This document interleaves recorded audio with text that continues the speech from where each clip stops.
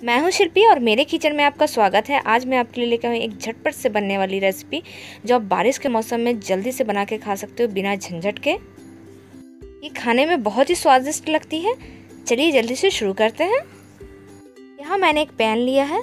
इसमें हम एक चौथाई चम्मच जीरा डालेंगे क्यूमन सीड्स अब इसमें हम दो से तीन छोटे चम्मच तेल डालेंगे। वेजिटेबल ऑयल मैं यूज़ कर रही हूँ। अब जीरे को अच्छी तरह से फूटने देंगे, उसके बाद हम इसमें वेजिटेबल डालेंगे। मैंने यहाँ शिमला मिर्च ली है, बारीक कटी हुई शिमला मिर्च, साथ में बारीक कटी हुई प्याज और बारीक कटे हुए गाजर। इसकी क्वांटिटी आप बढ़ा भी सकते हो। इन सभी को अच्छी तरह से एक से दो मिनट के लिए भून लें। अब इसमें हम एक चौथाई चम्मच जीरा पाउडर, एक चौथाई चम्मच गरम मसाला और एक चौथाई चम्मच काली मिर्च का पाउडर डालेंगे। इन्हें अच्छी तरह से मिलाएँगे। गैस का फ्लेम लो रखेंगे, नहीं तो हमारे मसाले जल सकते हैं। अब इसमें हम बारीक वाली सूजी डालेंगे। ये एक कटोरी से कम सूजी है। इसे भी अच्छी तरह से हम भूनेंगे। ज़्यादा हमें नहीं भुनना है और इसमें स्वाद अनुसार नमक भी डाल देंगे हम। मैंने सूजी को दो मिनट भून लिया था, अच्छी तरह से रोस्ट कर लिया। अब इसमें हम डेढ़ कटोरी पानी डालेंगे और इसे अच्छी तरह से मिक्स करेंगे। गैस का फ्लेम यहाँ पे हम हाई रख देंगे और इसे अच्छी तरह से मिक्स करें।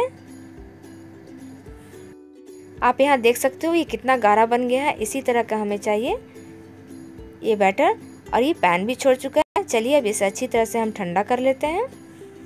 जब तक हमारा ठंडा हो रहा है सूजी, दूसरी तरफ़ हम देख लेते हैं। यहाँ मैंने मैदा लिया है। आप चाहो तो यहाँ पे आटा भी ले सकते हो। अब इसमें हम स्वाद अनुसार नमक डालेंगे इस मैदे में। और साथ में यहाँ पे पानी डाल के इसका घोल बना लेंगे। और दूसरी तरफ़ मैंने यहाँ मसाला उट्स लिया है, जिसे मैंने मिक्सर ग्राइंडर में हल्का सा दरदरा ग्राइंड कर लिया है। ये देखिए, इतना पतला हमें घोल चाहिए। दूसरी तरफ़ ये मिक्सर हल्का ठंडा हो गया है, अब इसे हम हथेलियों की सहायता से अच्छी तरह से मसलेंगे और इसका एक डो तैयार कर लेंगे। इस तरह से मसल के इसे हमें पूरी तरह ठंडा नहीं होने देना है, नहीं तो हमारे रोल्स नहीं बन पाएँगे। सूजी के कटलेट, इस तरह से हम इसे गोल का शेप देंगे और सभी को इस तरह से डिवाइड कर देंगे। ये खाने में बहुत ही टेस्टी लगती है, आप इसे ज़रूर ट्राई करें और बहुत ही झट। अब ये सूजी के जो मैंने कटलेट बनाए हैं, अब इसे मैदे में डिप करेंगे और इस तरह से हम ओट से कवर कर देंगे। और जो एक्स्ट्रा एक्स्ट्रा ओट्स है, उसे हम अच्छी तरह से हथेलियों की सहायता से इसे हम निकाल देंगे। नहीं तो ये जब हम इसे फ्राई करेंगे तो ये ओट्स जाके तेल में निकल सकते हैं। बाकी का भी इसी तरह हम बना लेंगे। आप चाहो तो ओट्स की जगह पे यहाँ पे ब्रेड क्रम भी यूज़ कर सकते हो। ब्रेड क्रम आप बनाने के लिए फ्रेश ब्रेड ले लें और इसे मिक्सर ग्राइंडर में चला लें, आपका फ्रेश क्रम तैयार हो जाएगा। अब इसे जल्दी से हम फ्राई कर लेते हैं।